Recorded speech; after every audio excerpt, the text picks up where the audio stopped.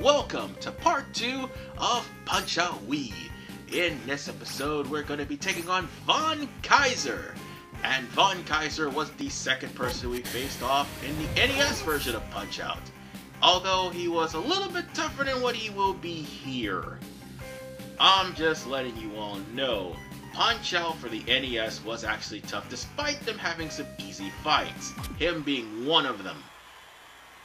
Now, he's even less of a challenge here. However, Contender Mode is a totally different story.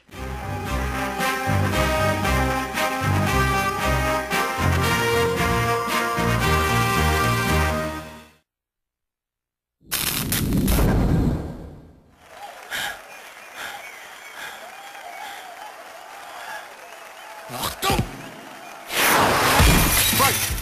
Well, Von Kaiser starts off the fight cowardly and uh, pretty much calling for his mom. And when he does, you punch him in the face and that'll give you a free star. Now, sometimes he'll keep his face completely open, other times he'll keep his body open. Mommy! And I missed my chance to get a star. God damn it. That's okay. Eventually, if I actually uh, do an infinite loop, which I don't know how to do, by the way, I would have gotten a star from him. However, I did get a star from him there. Oh god, almost hit. Come on. And honestly, there are three levels of star this time around. Back in the original Punch-Out, you can hold up to three star punches. And you can use one at a time. Oh, and be careful when he gets up. Immediately dodge the moment he tries to shake the cobwebs out, because he will come with a jab that'll come out of nowhere. Like that.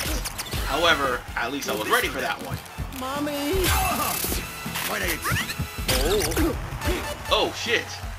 He block he's blocking all of my punches. Yeah, that's the thing. Stamina button's a thing. Kuckuck, Kuckuck! Deine Stunde hat geschlagen! Hey, Mac baby, teach Von Kaiser a lesson. Send him back to boot camp.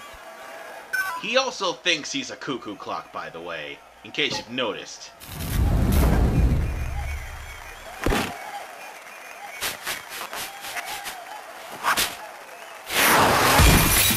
Just to let everybody know, I am not intentionally letting this go past round two. Not by a long shot. Again, I told you, this is the first time I played this game. So, yeah.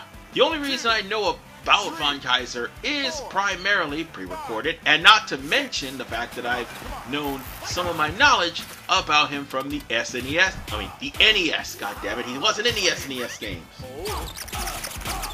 And if I knew him, I should have actually punched him in the face when he was ducking like that, and I would have gotten a uh, star then. In fact, when he was about to throw the uppercut, I should have punched him then.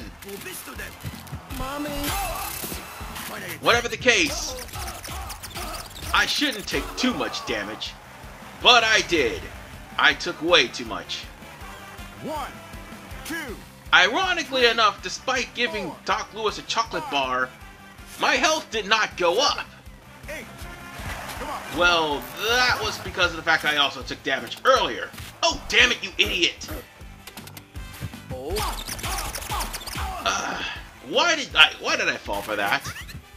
And bear in mind, when enemies hit you, your stamina gauge goes down, and when it goes down completely, you'll be tired, you'll be left wide open, and take more damage without any stamina than what you do with stamina.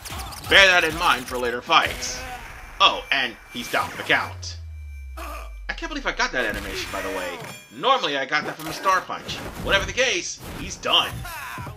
And that is the end of Von Kaiser. Not that hard. I just kept getting hit too much. Rock and roll, baby, rock and roll. That sucker didn't even stand a chance. You ready for the next challenge now?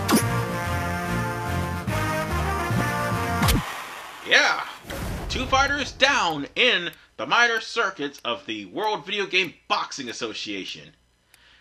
Now, here's the thing. We're going to be taking on Disco Kid, and this guy is a relatively new character for this game. He was known by another name in the arcades as Kid Quick. However, we'll worry about that in the next episode, but I will give you a word of warning. Later on, there's going to be some dirty tactics pulled by some of the boxers later on, so bear that in mind. This is RVMan 985. Peace out and see you later.